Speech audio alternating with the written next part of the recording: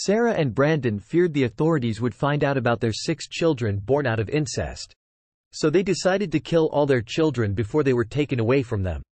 Sarah Barrass was a 35-year-old mother who lived with her six children in Shiregreen, Sheffield, United Kingdom. Sarah's mother often neglected her when she was young.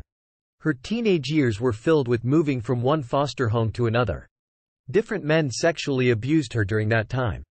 Sarah's half-brother, Brandon Machin, also suffered the same fate at the hands of their mother. Brandon was four years older than Sarah.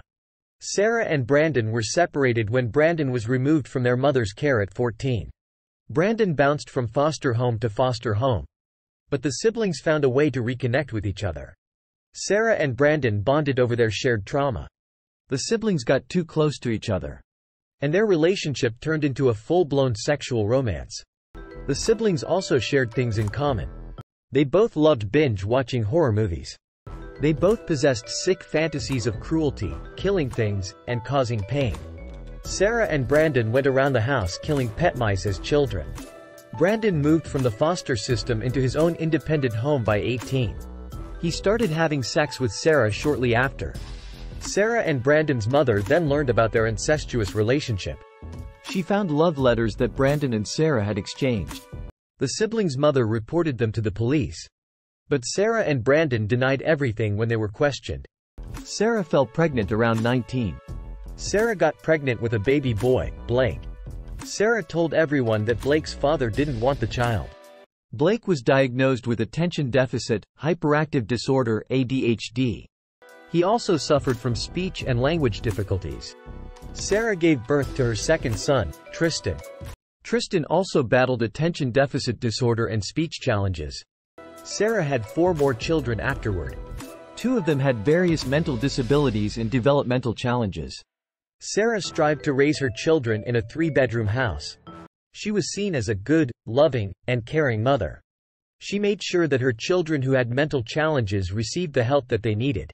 Social workers visited Sarah's house. The Child Protective Services started frequenting Sarah's house at the end of 2018. They visited the house 13 times over a period of six months. The reasons varied from Sarah's children showing bad behavior and school concern reports.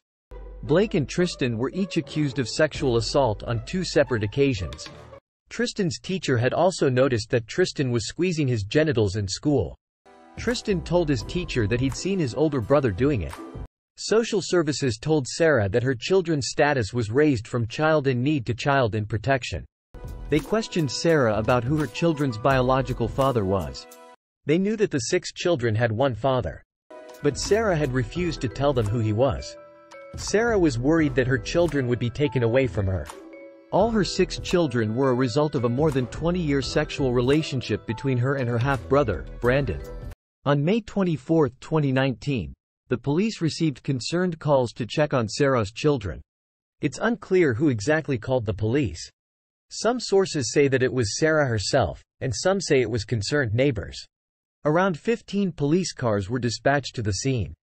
The police found 14-year-old Blake and 13-year-old Tristan unconscious inside. They had plastic bin bags over their heads. Blake and Tristan had been strangled. The third child, 11-year-old, was wet from a drowning attempt. The other three children, aged 10 years, 3 years, and 7 months, appeared unharmed. The police rushed all the children to the hospital. Blake and Tristan unfortunately passed away. The remaining four younger children weren't in a life-threatening condition. Medical examinations performed on all six siblings showed that they had high dosages of ADHD tablets. The police looked into the murder and attempted murder of Sarah's children. The police raided Sarah's house and her house upside down. There was a notepad in which Sarah had written funeral arrangements for her children. The police discovered that Sarah often threatened her children with death.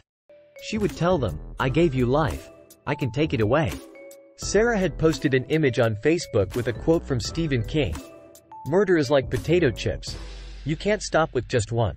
Sarah's Google search history showed that she looked up strangulation, suffocation, and drowning. There were notes that were recovered from Sarah's phone in which she confessed that Brandon was the father of her children. Sarah also wrote that the first attempt to kill their children was unsuccessful. She stated that she had killed Tristan while Brandon killed Blake. Sarah and Brandon's incest came to light. It became apparent that the siblings killed their two children and planned to kill the rest in a bid to hide their sexual affair and to avoid losing their children. Sarah believed the children would have been better off dead than in state care. It turned out that Sarah and Brandon had taken ADHD tablets that belonged to one of their children. The couple divided the tablets into four piles, and then they forced their four eldest children to swallow them with the help of a fizzy drink. Sarah and Brandon sent their children to bed with the hopes that they were going to die in their sleep. Sarah then told some family and friends that her children were sick from a sickness bug in the house. But the children woke up the next morning. Sarah and Brandon panicked. Sarah reached out for a dressing gown cord and strangled Tristan. Blake yelled, Mom's killing Tristan. Brandon jumped on Blake and strangled him with his bare hands. Sarah and Brandon then wrapped bin bags around Blake's and Tristan's heads in order to make sure that they were dead. Then, the two ran a bath and tried to drown their third child.